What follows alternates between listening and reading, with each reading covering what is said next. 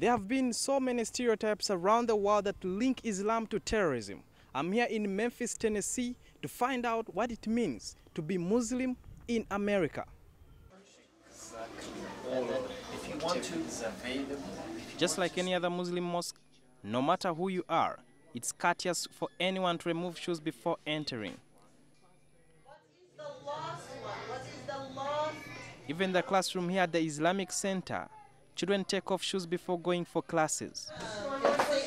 To the teachers, it is the starting point to groom these children to become obedient Muslims. What do you still remember action verb? Like what? Action verb. Uh-huh.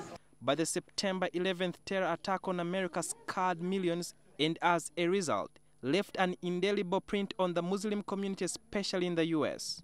Um, I wore my hijab when I was 11 years old, and um, a lot of people, just by looking at me, they, they they said the word, the T word, which is the terrorist, you know.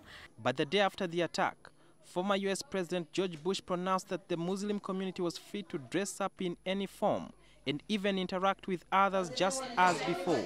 We're trying to always identify the individual. Many Muslim students were scared of going back to school in fear of discrimination, but there were also lessons to learn from facing these challenges.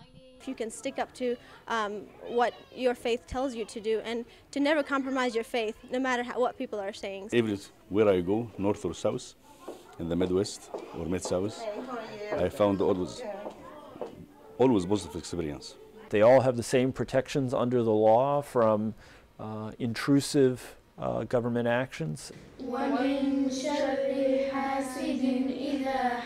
Hundreds of children come here for Arabic lessons, which include learning how to read the Quran, recite prayers, and also understanding the norms of the religion.